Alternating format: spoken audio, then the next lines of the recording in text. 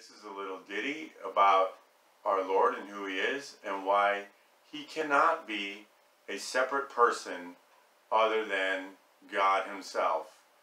That is simply not possible, it is not right, and it is not so.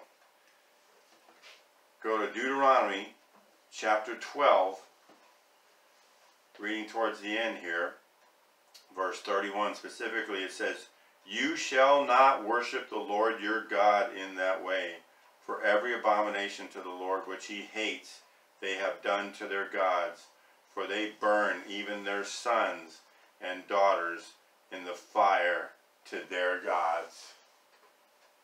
Now, if Jesus was another person, that means God killed his own son, sacrificed his own son, did an abomination. It's an abomination to him to sacrifice your children to your gods. And it doesn't mean that it has to be the right God because he didn't tell them to sacrifice their children to him. That's an abomination. We simply miss the real reality, the true reality of what it means to say the term the Son of God. They got it a little bit better back then they understood it, and that's why they killed him for blasphemy, because they understood that to say, I am the Son of God, is to say, I am God in the flesh. They got that.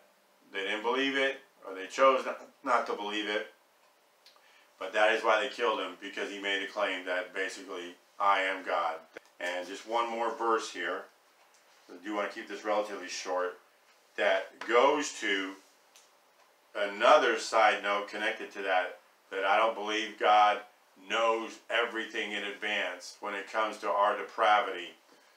And along the same subject, in Jeremiah 32, verse 34, says, But they set their abominations in the house which is called by my name to defile it, and they built the high places of Baal, which are in the valley of the son of Hinnom, to cause their sons and their daughters to pass through the fire of Molech, which I did not command them, nor did it come into my mind that they should do this abomination to cause Judah to sin.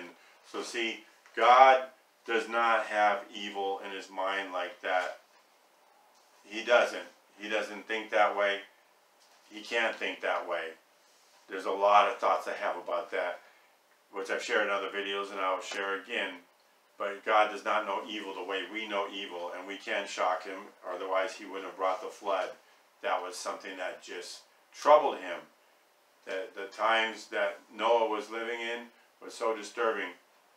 But just to sum it up, God came here. God himself. God gave himself. Through the eternal Spirit of God, Jesus came here as the man that God became and gave himself for you. That was not another person. Otherwise, God is a liar and God does abomination. But God did not do abomination. He did not make someone else pass through the fire, as it were. He did not do that to someone else. He did it to himself. Or more to the point, he let you and me do it to him. Because that's all we can do before we know him we can only subject him to that type of suffering and pain. And once you see he went through what you and I deserve, that's love. That's one person.